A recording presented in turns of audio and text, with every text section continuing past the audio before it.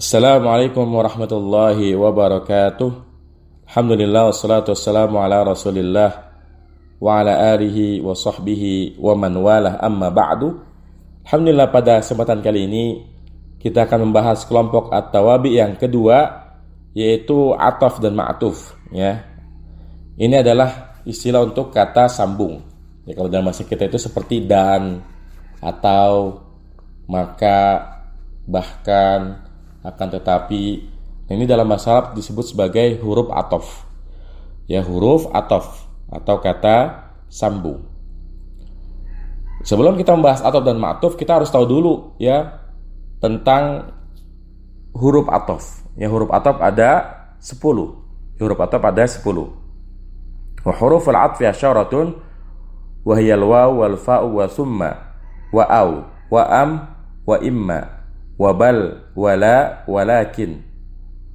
Wahatta ya. Jadi kalau di kitab al ajurumiyah dikatakan huruf ataf ada 10 ya.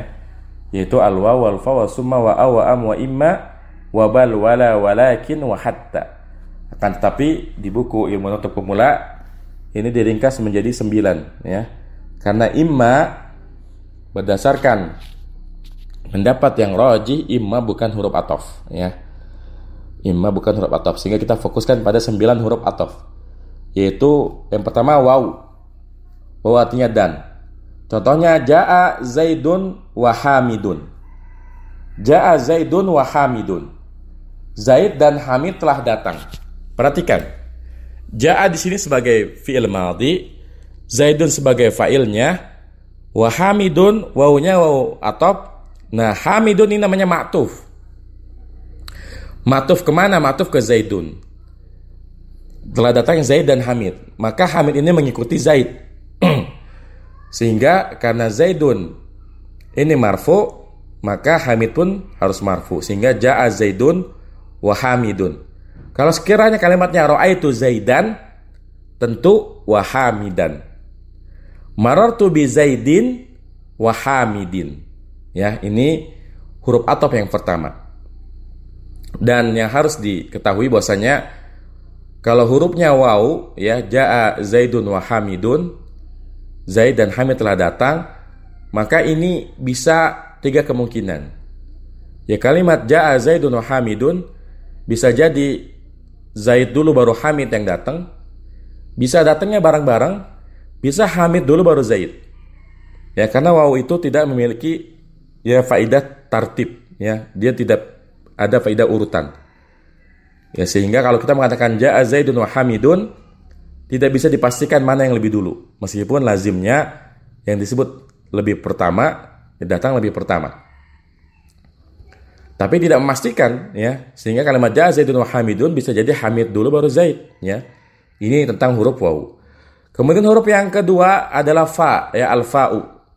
Contohnya ja'a Zaidun fahamidun. Ja'a Zaidun fahamidun. Zaid telah datang, maka Hamid datang. Ini namanya fa sababiyah. Jadi sebab kedatangan Hamid adalah Zaid. Ya. Atau yang kedua memastikan urutannya, ya. Jadi kalau huruf fa ini bisa menjelaskan sebabnya. Misalnya kita katakan ja'a Zaidun fahamidun, Zaid telah datang, maka Hamid datang. Jadi Hamid datang karena si Zaid datang. Kalau sekiranya Zaid nggak datang, Hamid nggak mau datang juga. Ini namanya fa sababiyah.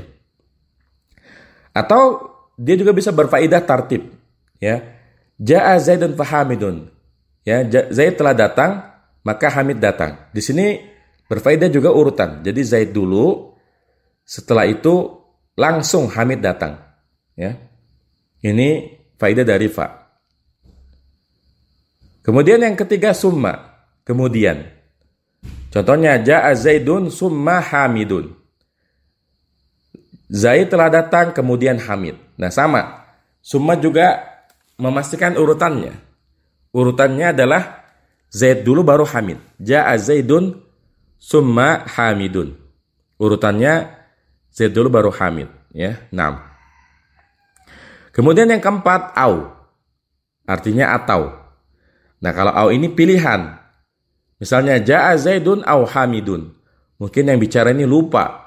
dia lupa yang datang itu siapa? Zaid atau Hamid. Sehingga dia katakan, Ja'a Zaidun au Hamidun. Dia lupa yang datang siapa. Atau misalnya, Ra'aitu Zaidan au Hamidan. Saya melihat uh, Zaid atau Hamid. Atau maratu bi Zaidin au Hamidin. Saya berpapasan dengan Zaid atau Hamid. Entah dia lupa yang dilihat siapa atau mungkin dia ragu. Mungkin Zaid sama Hamid ini kembar. Sehingga dia nggak bisa bedakan itu Zaid atau Hamid. Sehingga dia gunakan kata au. Ini faidah dari au. Kemudian am, artinya ataukah. Jadi am ini sebenarnya au, cuma harus dalam bentuk istifham, pertanyaan. Makanya kalau menggunakan am, di depannya harus ada huruf istifhamnya. Entah dengan hal atau dengan a. Ya. Misalnya kita dikatakan, hal ja'a zaidun am hamidun. Atau aja'a zaidun am hamidun. Apakah Zaid yang telah datang atau kasih Hamid? Ya. Jadi kalau am ini maknanya sama dengan au, bedanya kalau am ini khusus pada kalimat istifhamiyah. Kalimat yang formatnya bentuknya pertanyaan. Ya, nah. Kemudian yang keenam, huruf atap adalah bal, ya. Ja'a Zaidun bal Hamidun. Zaid telah datang, bahkan si Hamid juga datang, ya. Jadi ini untuk menegaskan. Hamid aja datang, ya. Nah, kemudian yang ketujuh la. Ya, la yang artinya tidak. Ja'a Zaidun la Hamidun. Zaid telah datang, bukan si Hamid. Ya. Jadi ja'a Zaidun la Hamidun, ini artinya Zaid telah datang, bukan Hamid. Kemudian yang kedelapan, lakin. Lakin akan tetapi. Ya misalnya, ma ja'a Zaidun lakin Hamidun. Zaid tidak datang, akan tetapi Hamid datang.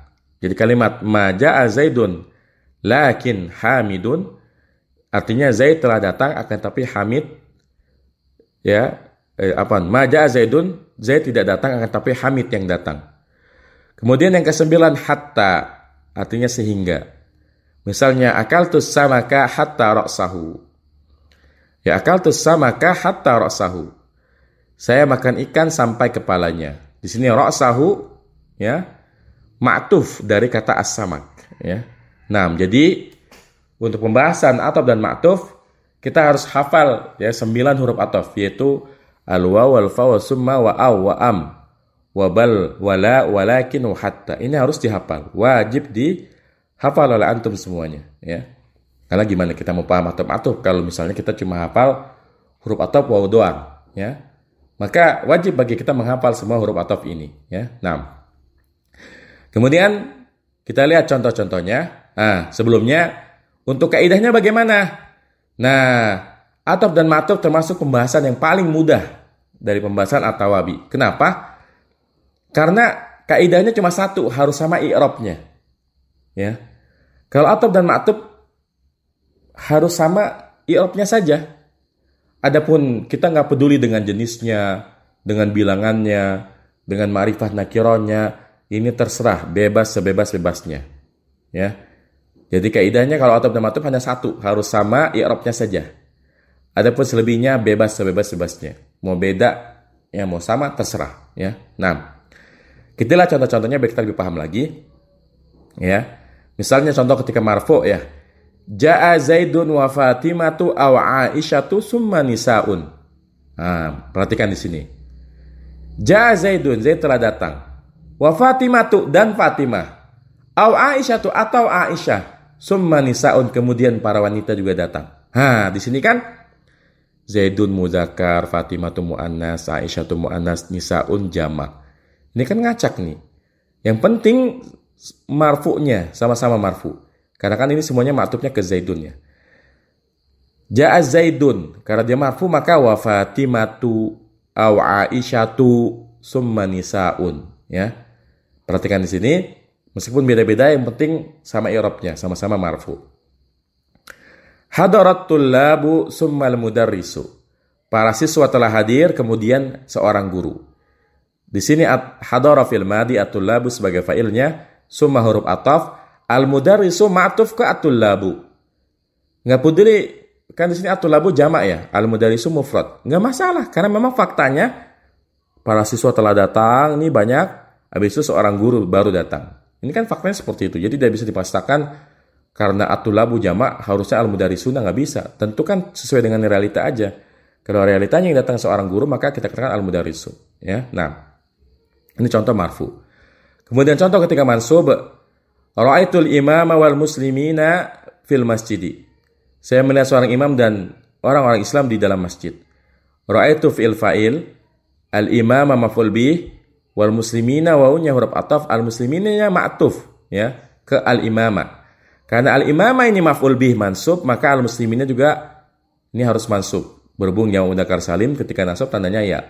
Sehingga menjadi wal muslimina, bukan wal muslimuna. Fil masjidi jar majrur. Nah, kemudian akhubzan akalta amruzzan apakah roti yang kamu makan ataukah nasi? Nah, ini contoh penggunaan am. Kalau am harus ada huruf istifham di depan. Di dalam kalimat ini adalah hamzah a. Akhubzan akalta am ruzzan. Ya, di sini akhubzan hamzanya hamzah istifham, khubzan yang maf'ul bi yang didahulukan, akal fil fa'il, am huruf atau ruzan ma'tuf ke khubzan. Ya, nah. Kemudian contoh majrur maratu bitullabi wal mudarrisati. Saya berpesan dengan para siswa dan para guru wanita, para ibu guru. Di sini atullabi ya maratu jar majrur bitullabi jar afwan maratu fi'il fa'il bitullabi jar majrur wal mudarrisati wawunya huruf ataf al mudarrisati ma'tuf ke at-tullabi. Di sini at-tullab jamak taksir, mudzakkar. Al mudarrisati jamak muannas salim. Boleh? Ya boleh kalau memang faktanya seperti itu. Ya, ingat ya kaidahnya hanya satu, harus sama i'rabnya. Adapun selebihnya bebas. Kemudian ta'allumul Qur'ani wa sunnati muhimun. Mempelajari Al-Quran dan Sunnah itu penting. Di sini ta'allum sebagai mubtada, Al-Qur'ani sebagai mudhaf ilaih ya. Was sunnati wa huruf ataf as sunnati ma'tuf ke Al-Qur'ani muhimun ini khobarnya ya. Demikian pembahasan tentang ataf dan ma'tuf semoga bermanfaat. Wassallallahu ala nabiyina Muhammadin wa ala alihi wasallam. Subhanakallahumma bihamdika asyhadu an la ilaha illa anta astaghfiruka wa atubu ilaik. Assalamualaikum warahmatullahi wabarakatuh.